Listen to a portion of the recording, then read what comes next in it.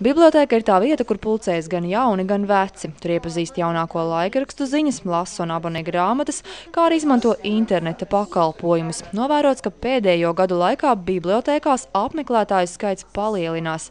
Tāpēc svarīgi, lai telpas, kur satikties, mācīties un gūt informāciju, būtu mājīgas un patīkamas. To pavisam nesen izdevies īstenot Viļakas novadā. Kopš pagājušā gada nogales centrālā bibliotēka apvienojoties ar Susāju pagasta bibliotēku atrodas jaunā un rekonstruētā ēkā. Darbus novada domē izdevies veikt apgūstot Eiropas struktūra fondu līdzekļus lauku vides attīstīšanai. Tagad bibliotēkā grāmatas lasot var ieraudzīt arī jaunāko paudzi. Kā patīk tev jaunā bibliotēka?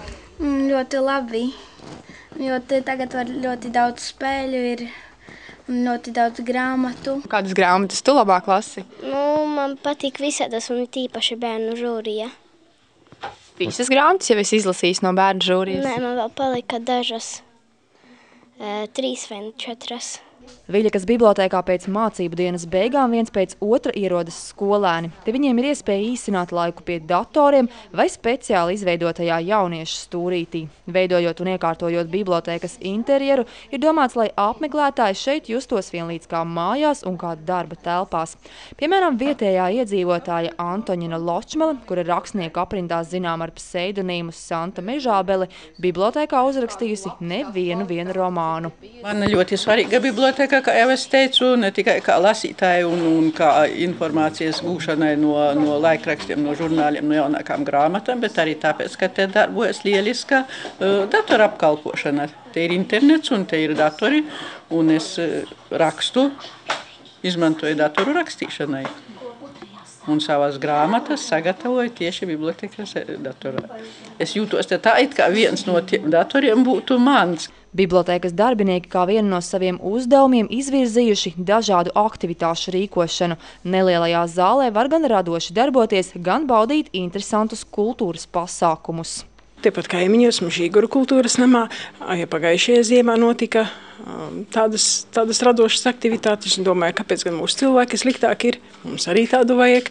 Nu, un tad mēs kopā salikām nu, teiksim, tādas idejas, ka kaut ko tādu vajag. Un, un, un, un reizi mēnesī mēs tagad pulcējamies un izdomājam katru mēnesi kaut ko citu, ar ko nodarboties. Atrodam kādu interesantu pasniedzēju, kas mums kaut ko varētu jaunu iemācīt. Un, Un, un viss notiek. Vienā no nodarbībām sievas izmēģināja roku konfekšu pušķu veidošanā. Nodarbības viņām ir iespēja kā dažādot savu ikdienu un iemācīties kaut ko jaunu. Ļoti pozitīvi. Cilvēkiem varētu nākt, padarboties kaut ko uzzināt. Ļoti jauki. Nezinu, man ļoti patīk.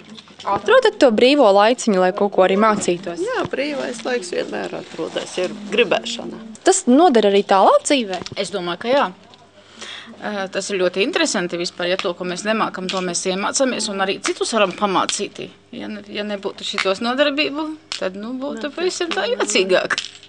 Nu, tā kā, tā kā brīvu laiku arī vienmēr, ja, ja ir vēlēšanās, tad jau var dabūt un izbrīvēt un, un turpināt. Prieks vispār par pagastu, ka vispār tādu iespēju vispār ir devuši. Viļakas bibliotēkas darbinieki ir apņēmības pilni jaunajās telpās strādāt ar divu tik lielu deksmi, lai vietējie iedzīvotāji bibliotēku apmeklētu pēc iespējas biežāk.